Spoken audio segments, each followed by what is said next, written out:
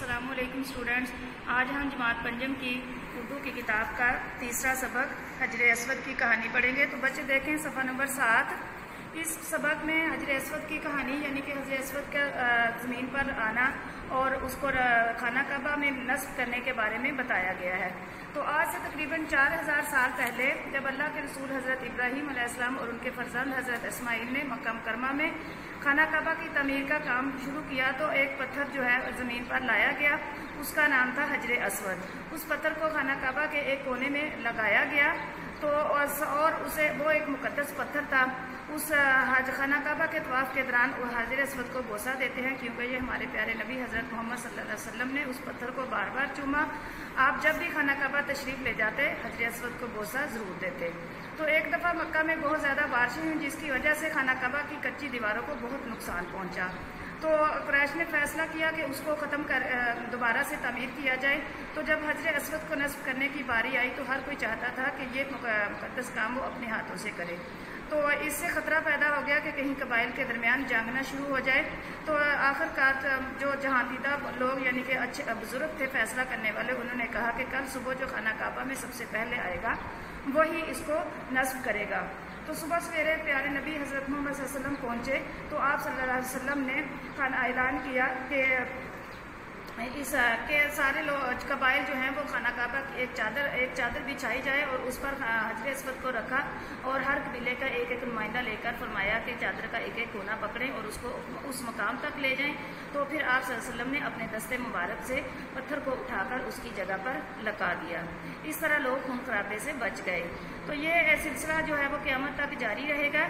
और इन आप की ये जो रवायत है, वो इसको लोग इसी तरह मुकदस समझ कर हैं।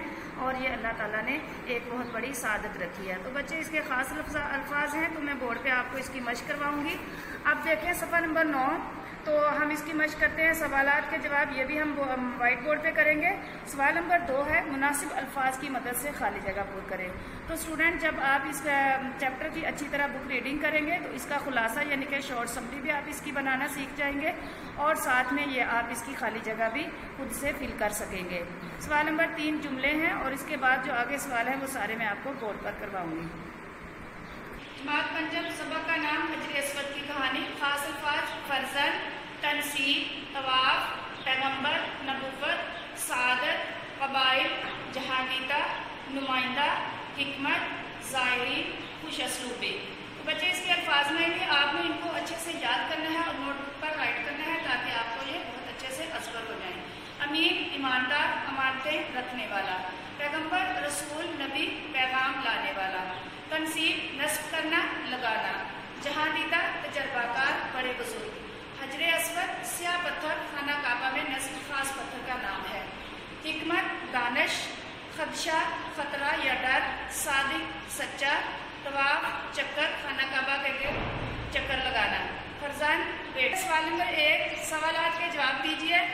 नंबर एक, खाना काबा कब तमीर हुआ? आज से तकरीबन चार हज़ार साल पहले। खाना काबा किसने तामीर किया?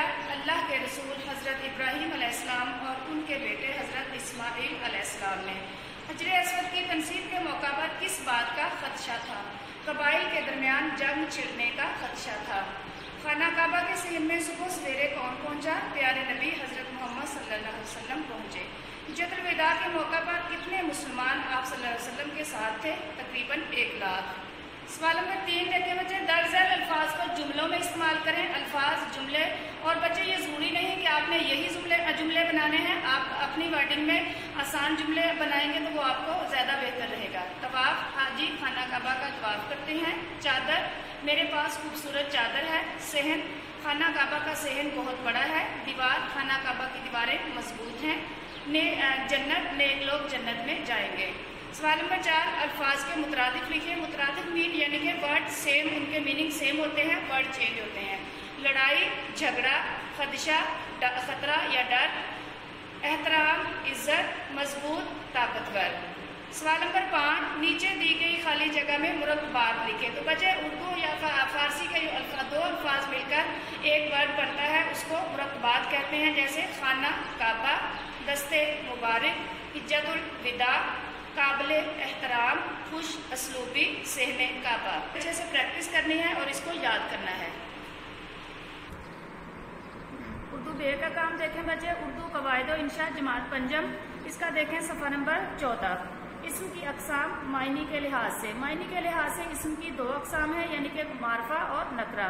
तो जैसा कि आप पहले भी जानते हैं बच्चे, इसम मारफा मीन खास इसम। किसी भी खास शख्स या जगह या चीज़ के लिए बोला जाए, इसम मारफा कहलाता है। मसलन नदीम, बांगेदरा, लाहौर वगैरह। और नकरा मीन आम इसम तो कोई भी कॉमन चीज़ किसी भी आम शख्स, जगह या चीज़ के लिए बोला जाए, वो नकरा कहलाता है।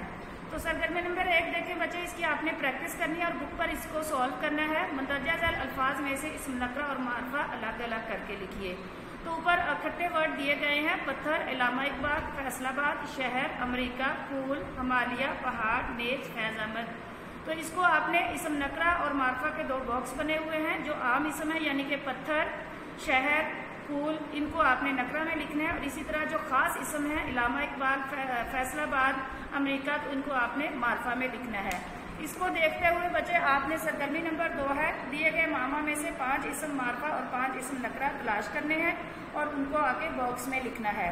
सरगर्मी नंबर तीन है। दी गई तस्वीर का एक खास और एक आम नाम लिखिए और इन दोनों नामों का इस्तेमाल करते हुए दो दो जुमले लिखिए। मिसाल देखें, खास नाम है लाहौर और आम नाम है शहर। तो लाहौर एक तारीखी शहर है। तो इसी तरह आपने आगे लिखने हैं, तस्वीर देखें, ताजमहल और महल। ताजमहल बहुत खूबसूरत है, महल बहुत बड़ा होता है। इसी तरह आपने सफ़ा नंबर 16 को सॉल्व करना है। एक दफ़ा आप लिखेंगे, गुलाब का फूल और फूल फिर उनके जुमले बनाएँगे। कायदे आज़म रहनमा, इसी तरह उसके जुमले बनाएँगे तो पुराने पाक और किताब, इसके भी जुमले बनाएँगे। पाकिस्तानी परचम और परचम और फिर उनके आप जुमले बनाएँगे। ये सफ़ा नंबर सोलह तक आपने खुद से काम करना है। सफ़ा नंबर चौबीस, ट्वेंटी फोर। इसम की अकसाम जिन्स के लिहाज से। जिन्स के लिहाज से इसम की दो अकसाम है। नंबर एक, मुजक्कर, नंबर दो, मोनस। मुजक्कर मीन ऐसा इसम जो नर के लिए बोला जाए, यानी कि मेल के लिए बोला जाए, मुजक्कर कहलाता है। और मोनस ऐसा इसम जो मादा के लिए, यानी कि फीमेल के लिए बोला जाए, मोनस कहलाता है। तो इसको आपने देखें सफ़ा नंबर ट्वेंटी फाइव पे।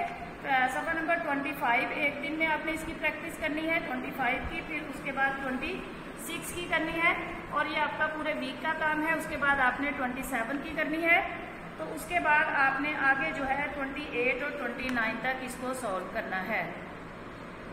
आगे देखें बच्चे सफ़ा नंबर इकहत्तर और बहत्तर पर ये ख़त के बारे में बताया गया आपको कि ख़त लिखने का तरीका क्या है, वो तो आपको पहले भी माशाल्लाह से आता है।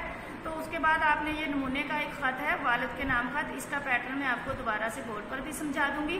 तो इसको आपने शॉर्ट करके या इसी तरह जैसे भी आपको मुनासिब लगे, आपने इसको याद करना है और इसको लिख कर इसकी प्रैक्टिस करनी है नोटबुक पर। पेज नंबर, सफ़ा नंबर बहत्तर, पेज नंबर सेवेंटी टू।